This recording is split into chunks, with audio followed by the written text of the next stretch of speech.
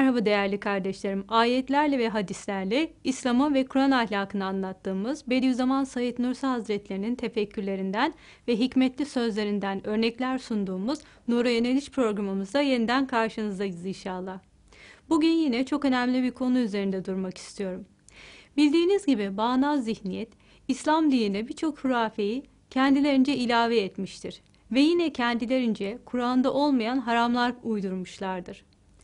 Ancak biraz incelediğimizde uydurdukları bu haramlara kendilerinin de uymadığını görürüz.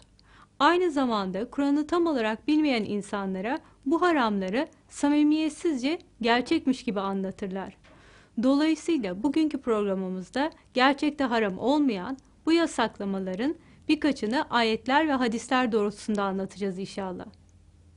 Genel tanımıyla bağnazlık, Allah'ın Kur'an'da bildirdiği ve Peygamberimiz sallallahu aleyhi ve sellemin yaşadığı İslam'dan çok farklı bir anlayışı din gibi göstermeye çalışan Allah'ın gönderdiği dini değil, atalarından öğrendiği müşrikliği ve batıl hükümleri yaşamak üzerine kurulu bir sistemdir. Tarih boyunca tüm peygamberler sadece dinsizliğe karşı değil, kendi dönemlerinin bağnazlarına, müşriklerine karşı da mücadele etmişlerdir. Bağnazların en önemli özelliklerinden biri de haşa Allah'ın ayetlerini ve hükümlerini yetersiz görmeleri, haşa peygamberleri beğenmemeleri, dinin kolay olmasına inanmamaları, Allah'ın haram kıldıkları dışında haramlar belirlemeleridir. Bir ayette müşriklerin bu özelliği şöyle bildirilir. Şeytandan Allah'ım sana sığınırım. Dillerinizin yalan yere nitelendirmesi dolayısıyla şuna helal, buna haram demeyin. Çünkü Allah'a karşı yalan uydurmuş olursunuz. Şüphesiz Allah'a karşı yalan uyduranlar kurtuluşa ermezler.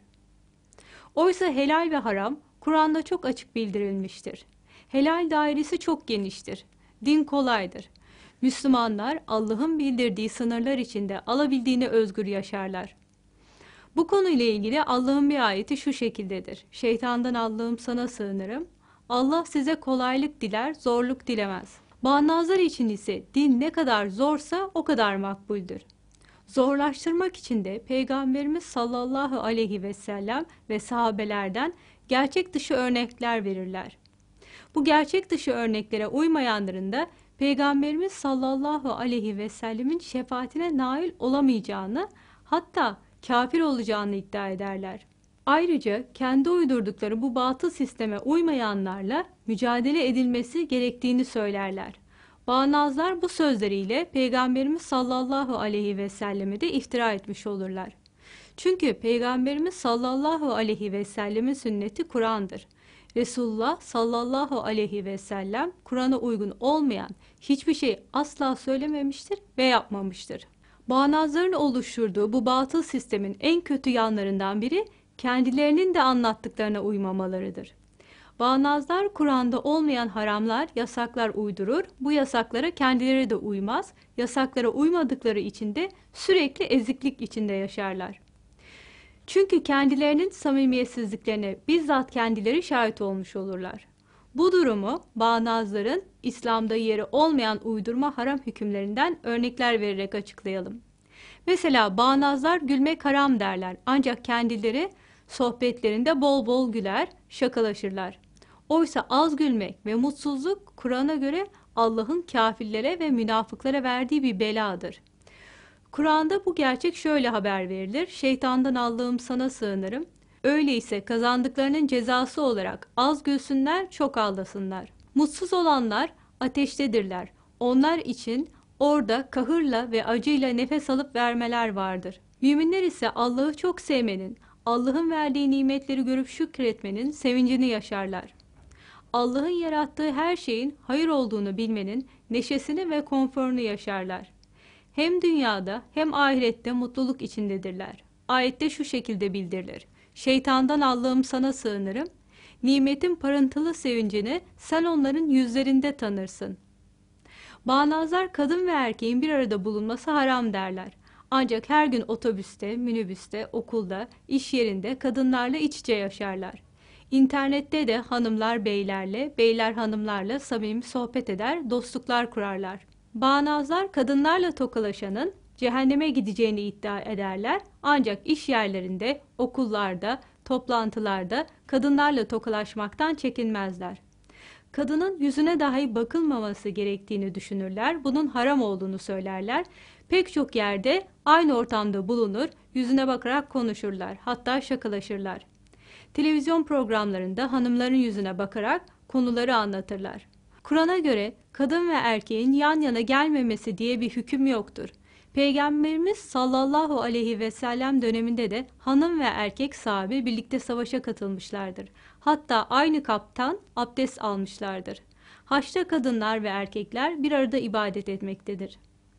Allah'ın haram kıldığı kadın ve erkeğin aynı anda aynı ortamda bulunması değil, gayrimeşru ilişkidir inşallah. Yusuf kıssasında Hz. Yusuf aleyhisselam vezirin evinde yaşamakta, bu evde vezirin eşi de bulunmakta ve Hz. Yusuf aleyhisselam ile vezirin eşi aynı ortamlarda yer almaktadır. Hatta vezirin eşi şehrin önde gelen hanımlarını çağırdığı toplantıda Hz. Yusuf aleyhisselam da bulunmuş, hanımlar Hz. Yusuf aleyhisselamın güzelliğinden müthiş etkilenmişlerdir. Bu etkilenmeyle ellerindeki meyve yerine ellerini kesmişlerdir. Ayetlerde Hz. Yusuf aleyhisselamın vezirin eşiyle konuştuğu, sohbet ettiği anlatılmıştır. Ancak Hz. Yusuf aleyhisselam gayrimeşru ilişkiye asla tenezzül etmemiş, bundan şiddetle kaçınmış, kendisini korumuştur. Ayette Hz. Yusuf aleyhisselamın bu durumu şu şekilde bildirilmiştir. Şeytandan Allah'ım sana sığınırım.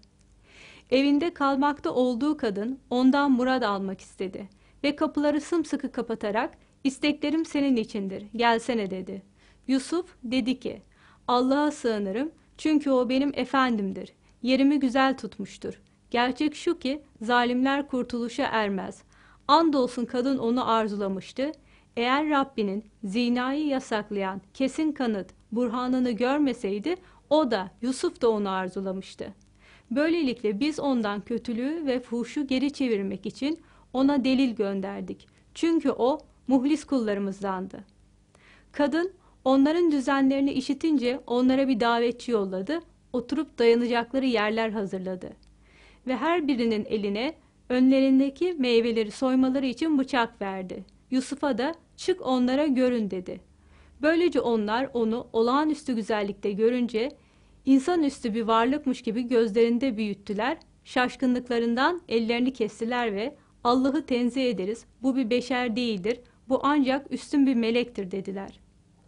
Hz. Musa aleyhisselam kıssasında da Hz. Şuayb aleyhisselamın kızları Hz. Musa aleyhisselamın yanına gelip onunla konuşmuşlar, ondan yardım istemişlerdir. Hz. Musa aleyhisselam kendilerine yardım ettikten sonra onu babalarıyla tanıştırmaya da yine kendileri götürmüşlerdir. Babalarına Hz. Musa aleyhisselamın güvenilir ve güçlü biri olduğunu anlatmışlardır. Şeytandan Allah'ım sana sığınırım, Medyen suyuna vardığı zaman su almakta olan bir insan topluluğu buldu. Onların gerisinde de hayvanları su başına götürmekten çekinen iki kadın buldu. Dedi ki bu durumunuz ne? Çobanlar sürülerini sulamadıkça biz sürülerimizi sulayamayız. Babamız yaşı ilerlemiş bir ihtiyardır dediler. Hemencecik onların sürülerini suladı sonra yine gölgeye çekilerek dedi ki Rabbim doğrusu bana indirdiğin her hayra muhtacım. Çok geçmeden o iki kadından biri utana utana yürüyerek ona geldi. Babam bizim için sürüleri sulamana karşılık sana mükafat vermek üzere seni davet etmektedir, dedi. Bunun üzerine ona gelip de olup bitenleri anlatınca o korkma dedi. Zalimler topluluğundan kurtulmuş oldun. O kadınlardan biri dedi ki ey babacığım onu ücretli olarak tut çünkü ücretle tuttuklarının en hayırlısı gerçekten o kuvvetli güvenilir biridir.''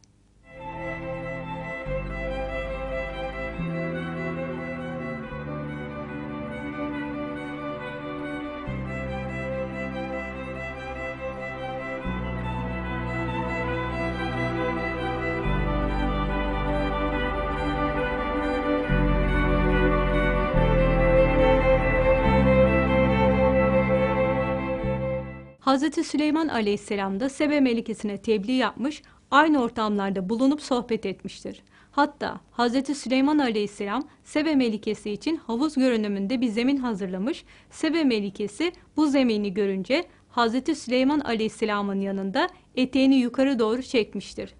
Sebe Melikesi Hazreti Süleyman Aleyhisselam'a Süleyman diye ismiyle hitap etmektedir. Şeytandan Allah'ım sana sığınırım, ona köşke gir denildi.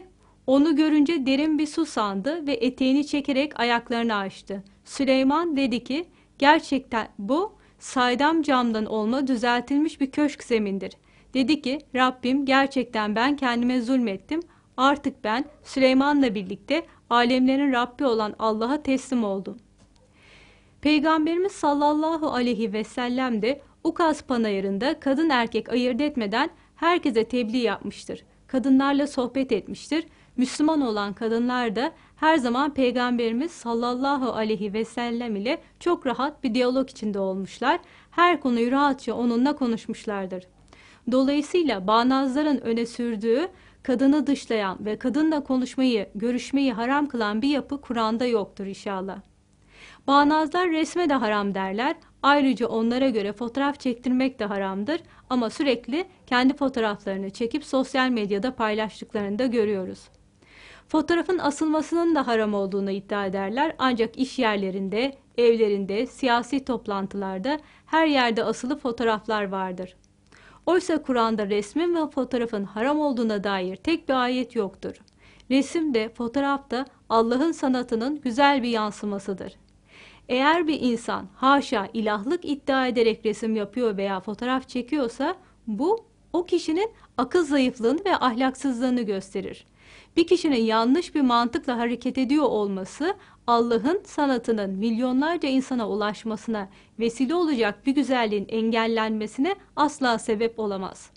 Bağnazlar müzik dinlemenin de haram olduğunu iddia ederler ancak kendileri müzik dinler hatta sosyal medyada paylaşırlar. Düğünlerde hep birlikte müzik dinler, halay çeker, dans ederler.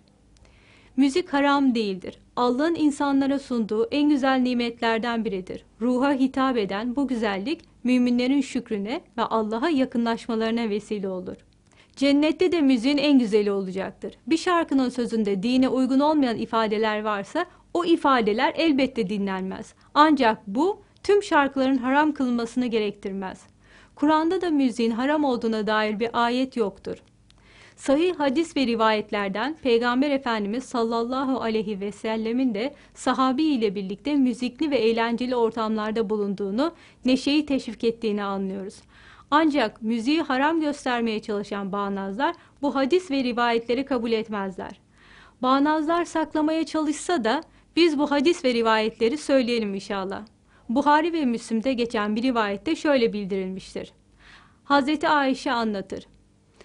Bayram günü iki cariye kahramanlık şiirlerini def çalarak terennüm ediyordu. Resulullah yatağına uzandı. Sonra babam Hazreti Ebu Bekir içeri girdi. Bana Resulullah'ın huzurunda bu ne hal deyince Resulullah bırak onları her milletin bir bayramı vardır. Bu da bizim bayramımızdır buyurdu. Sahabe de bir rivayette eğlenmenin haram olmadığını şu şekilde anlatmıştır. Amir bir saatten nakledilmiştir. Bir düğün münasebetiyle Karazabika ve Ebu Mesud el-Ensari'nin yanına gittim. Küçük bir kız çocuğu şarkı söylüyordu. Ben siz Resulullah'ın arkadaşları ve Bedir asabından olduğunuz halde sizin yanınızda bunlar nasıl yapılıyor dedim. Onlar ister bizimle kalırsın ister gidersin bize düğünde eğlenmeye izin verildi dediler.'' Hz. Ayşe aleyhisselamdan nakledilen bir diğer rivayette Peygamberimiz sallallahu aleyhi ve sellemin düğünde şarkı söyleyen hanımların yanına uğradığı haber verilir. Ayşe radullahu an rivayet ediyor. Resulullah sallallahu aleyhi ve sellem bir düğünlerinde ensar kadınlarına uğradı. Onlar şarkı söylüyorlardı. Peygamberimiz sallallahu aleyhi ve sellem yine bir düğünde Hz. Ayşe radullahu anh'a şöyle buyurmuştur. Ya Ayşe, sizin beraberinizde def çalan şarkı söyleyen şarkıcılarınız yok mu? Çünkü Ensar böyle oyun ve eğlencelerden hoşlanır. Ben burada size bu konudaki birçok rivayetten sadece birkaçını okudum. Maşallah tüm bu rivayetlerden müziğin ve eğlenmenin haram olmadığını, Peygamberimiz sallallahu aleyhi ve sellemin ve sahabinin müzik dinlemeyi sevdiğini ve müminlere de tavsiye ettiğini anlıyoruz. Bağnazların kendilerince ortaya attıkları haramlar saymakla bitmez. Bir diğeri de şiirin haram olduğunu söylemeleridir. Ancak buna kendileri de uymazlar. Hatta televizyonlara çıkıp herkesin önünde şiir okurlar. Bağnazlar sakal kesmek haram derler ancak her sabah işe giderken sakallarını keserler. Hatta çoğunun sakalı bile yoktur. Görüldüğü gibi bağnazlık dinde olmayan yasakları oluşturup bu yasaklara kendisi de uymayan bir sistemdir. Kendi elleriyle oluşturdukları batıl dini kendileri de gereği gibi yaşamazlar. Bu kendilerini münafık gibi görüp sürekli eziklik içinde yaşamalarına sebep olur. Bu sebeple samimi olarak dine ve Allah'a yönelemezler. Bu batıl sistemin içinden çıkmanın tek yolu Kur'an'a tam tabi olmaktır. Kur'an'a tam uyan kurtuluş bulur. Unutmayalım, Allah'ın dini kolaydır. Allah kulları için zorluk ve zulüm sistemi dilemez. Ayette şu şekilde bildirilir. Şeytandan Allah'ım sana sığınırım. Allah adına gerektiği gibi mücadele edin. O sizleri seçmiş ve din konusunda size bir güçlük yüklememiştir. Atanız İbrahim'in dininde olduğu gibi. O Allah bundan daha önce de bunda Kur'an'da da size Müslümanlar olarak isimlendirdi. Elçi sizin üzerinize şahit olsun, siz de insanlar üzerine şahitler olasınız diye. Artık dost doğru namazı kılın, zekatı verin ve Allah'a sarılın. Sizin Mevlanız O'dur. İşte ne güzel Mevla ve ne güzel yardımcı. Bağnazlık din adına ortaya çıkıp aslında İslam'da, Kur'an'da ve Peygamberimiz sallallahu aleyhi ve sellemin sünnetinde yeri olmayan bir sistemi kendisi uygulamadığı halde samimiyetsizce insanlara dayatır. Bağnazlar hayatı güzelleştiren her şeyi yok etmek amacındadır. Bağnaz zihniyetin sunduğu bu kabus gibi hayatı elbette kimse kabul etmez. Gerçek İslam Allah'ın Kur'an'da bildirdiği, Peygamberimiz sallallahu aleyhi ve sellemin de tefsir ettiği İslam'dır. Bu nedenle çok şefkatli, sevgi dolu, koruyucu, asil, sanata, estetiğe, güzelliğe, temizliğe, nezakete çok değer veren İslam anlayışının en ideal yaşam şekli olduğunun bilinmesi çok önemlidir. Allah'ın Kur'an'da bildirdiği ahlak, baskıdan ve zorlamadan uzak, sevgiye, saygıya, adalete dayalı üstün bir ahlaktır inşallah. Son olarak konumuzla ilgili bir ayet okumak istiyorum. Şeytandan Allah'ım sana sığınırım. Ey iman edenler! Allah'ın sizin için helal kıldığı güzel şeyleri haram kılmayın ve haddi aşmayın. Şüphesiz Allah haddi aşanları sevmez.''